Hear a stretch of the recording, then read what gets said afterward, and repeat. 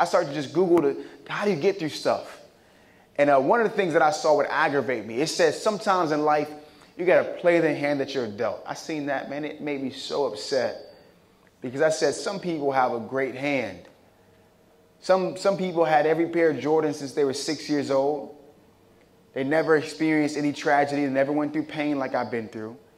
And so for them to say, play the hand that you're dealt, I thought, oh, ah, man, that's perfect. I said, some people have a tough hand like me.